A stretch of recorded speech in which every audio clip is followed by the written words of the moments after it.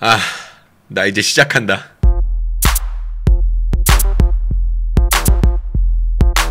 꼬바님들 안녕하십니까? 저는 17년차 댄스 트레이너 루다크리스입니다. 해당 영상은 제 개인적인 생각이 담긴 영상입니다. 여러분 시작 전에 아래 내려가서 좋아요 한 번씩 부탁드릴게요. 진짜 좋아요는 저에게 큰 힘이 됩니다. 좋아요 한 번씩 부탁드릴게요. 하나, 둘, 바로 지금, 셋. 감사합니다. 이 채널은 춤에 대한 이야기를 하는 채널인데 이제 그 시즌이 됐죠. 제 거 컨텐츠 중에 가장 많은 유입이 있는 그리고 많은 분들이 기대하고 계시는 그런 시즌이 됐습니다. 수우파 시즌이 이제 점점 다가오고 있어서 그 관련해서 한번 이야기를 해드릴까 하는데 둘러보시고 재미있으면 구독 한 번씩 부탁드릴게요. 자, 8월 후반쯤에 방영될 수우파 2의 8팀이 공개가 되었고요. 관례처럼 케이팝 미션 영상이 먼저 선공개되었습니다. 이게 아마 기억상으로는 한 세 번째쯤 되면 하는 미션이었던 걸로 제가 기억을 하는데 배틀하고 그 다음에 뭐 리더 계급 이런 거 하고 아마 그 다음이지 않나? 아마 그랬던 것 같아. 뭐 여튼 공개가 되었습니다. 그중 먼저 첫 번째 딥앤댑 대 레이디 바운스의 K-팝 미션 안무 분석 시작하도록 하겠습니다.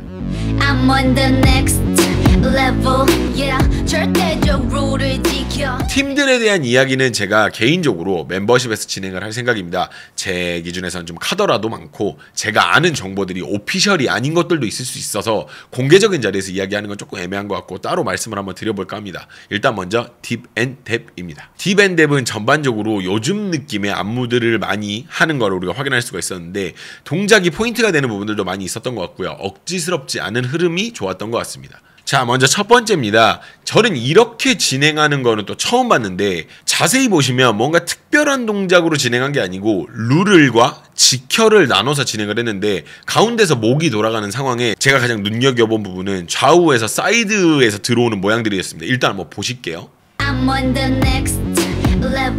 yeah. 지금 방금 여기였었어. 봐봐. 룰을 지켜를 보면 level, yeah. 절대적 룰을 지켜. 봐봐. 이렇게 진행하는 게 되게 특이하더라고. 자, 느리게 한번 볼까요? 지금 방금 룰을 할 때 보면 이 손에 맞춰서 이 사람들 이제 고개가 돌아가면서 이쪽에서 되게 잔걸음으로 안으로 들어오는 그런 모습을 볼 수가 있습니다.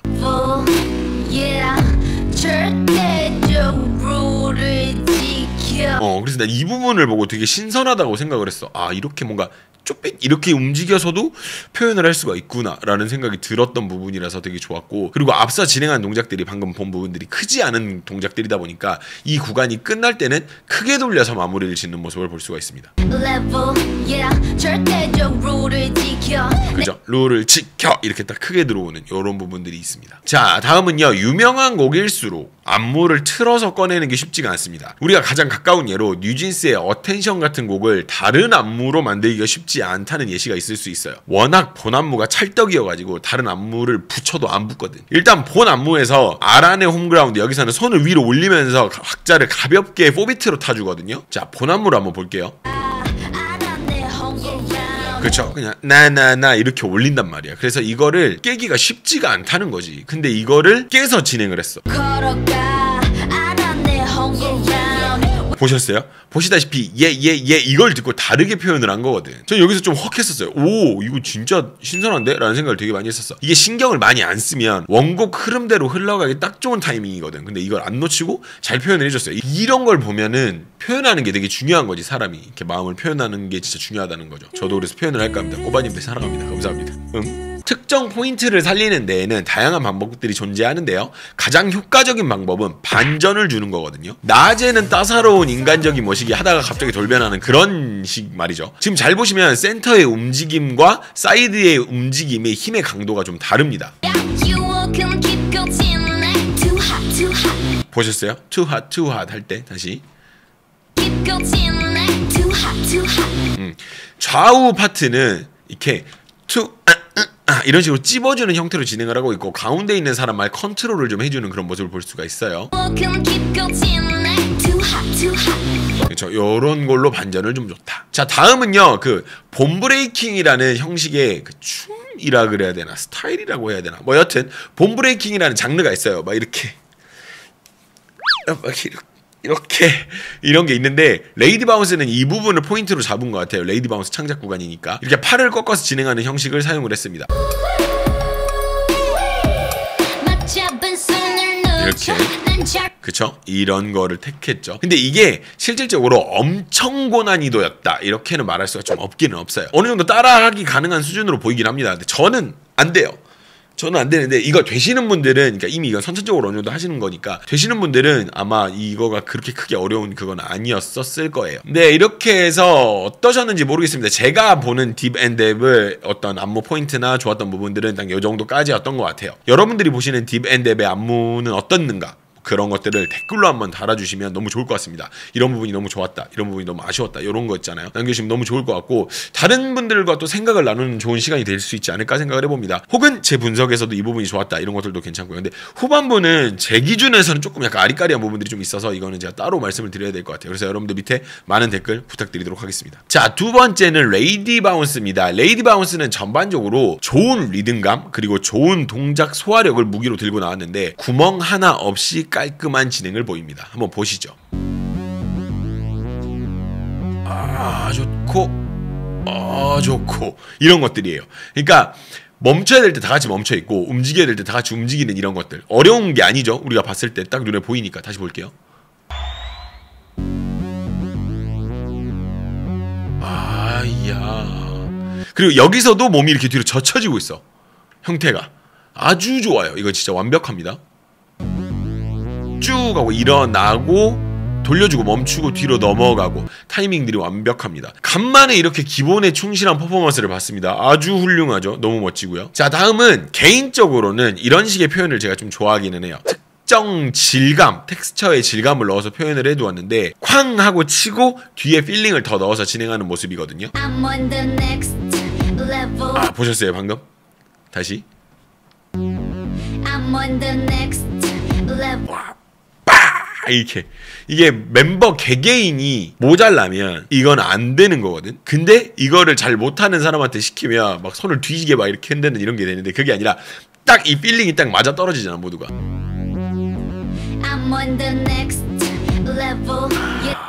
기가 막힙니다. 자, 다음 이 부분에서 저는 또 신선함을 느꼈거든요. 저는 이런 생각을 잘 못하는 편이어가지고 아주 신선했었는데 몸을 뒤로 제껴가지고 잠깐 blank를 만든 이후에 도착 때 바로 손을 감아가지고 박자를 채워버립니다. 방금 여기였었어요. 너무 빨리 지나갔죠? 다시 볼까요? 지금 방금 여기 뒷부분 여기를 좀 주목해서 보셔야 될 필요가 있는데 잘 보시면 몸을 뒤로 제꼈다가 오자마자 그러니까 여기서 오면 서 손이 이렇게 진행이 된다고. 그리고 이후 이거 감았던 팔을 펴는데 앞쪽 여기 두 명이 이제 방향에 맞게 같이 움직여주는 형태를 보입니다. 볼게요. 그쵸 허허 이렇게 움직이는 거 보셨죠? 근데 이게 여기 있는 이런 팔 때문에 이게 같이 보이는 거다 이런 걸 설명을 좀 드리고 싶고요. 자, 이 부분이 저는 이렇게 들리기는 했는데 이렇게 표현할 거라는 거를 생각을 한 번도 못 해봤거든요. 이게 아이디어의 차이라고 볼 수 있을 것 같아요. 한 명씩 도미노로 진행을 하는 걸 볼 수 있습니다. 보셨어요? 뒤에가 따라라라 이렇게 진행되잖아. 이거 보고 오 신선하다라고 생각을 했는데 더 신선한 부분이 이 다음에 바로 나오는 34초거든요. 여기 쿵짝의 드럼 루프 패턴이 있어요. 뭐 쿵짝 구궁 쿵짝 뭐 이런 식이든지 어떤 드럼의 그런 루프 패턴이라는 게 있는데 그거를 걷다가 숙이는 형태로 표현한 게 너무 신선하더라고. 이게 되나 싶더라. 레이디 바운스의 다양한 표현법들이 기대되는 부분 중에 하나였습니다. 보시면 하고 나서 보셨어요? 방금 이렇게 숙이는 거? 근데 타이밍이 쿵 이렇게 해놓은 게 너무 신기하더라고. 오 이걸 듣는 것까지는 그럴 수 있는데 이걸 이렇게 사용을 한다라는 게 너무 놀라운 그런 것 중에 하나였었습니다. 너무 좋았고요. 자, 진짜 제가 이 퍼포먼스 중에서 가장 좋았던 찐으로 좋았던 부분인데 제 컨텐츠를 많이 보신 분들은 아마 아실 거예요. 제가 상당히 중시하는 게 몇 가지가 있습니다. 첫 번째는 의리, 두 번째는 hustle, 세 번째가 리듬감이거든요. 응? 보면 아우 좋죠. 이 세 번 진짜 기가 막힙니다. 어 근데 이게 소리가 따라라 따라라 이렇게 나니까 아하하 이러면서 흔들면서 리듬을 채워버리잖아요. 봐봐 와 이거는 진짜 기가 막이 너무 리듬감이 좋은 거야. 이 팀의 근본을 볼 수 있는 부분이고 이 부분이 이 리듬이 너무 좋으니까 이 부분을 봐가지고 제가 다른 걸 못 봤는데 보시면 구성도 되게 좋아요. 가운데 부 터 이렇게 번지는 구성으로 이렇게 돼 있어. 와, 구성도 좋고 리듬도 좋고 아무튼 이래저래 좋았던 거야. 자, 다음은 레이디 바운스의 창작 구간이죠. bone breaking이 되는 멤버가 있었던 모양입니다. 그래서 이 부분은 어렵게 이렇게 넣어둔 것 같은데 이 부분을 이렇게 하라고. 근데 아까도 제가 말씀드렸다시피 이 정도 bone breaking은 그렇게 어려운 수준은 아니기는 해요. 아마 그거 하시는 분들한테는. 당연히 저는 안 됩니다. 여튼 그래요. 안 되는데 일반인 중에서도 이 정도는 되시는 분들이 있으실 거라고 저는 생각은 하거든요.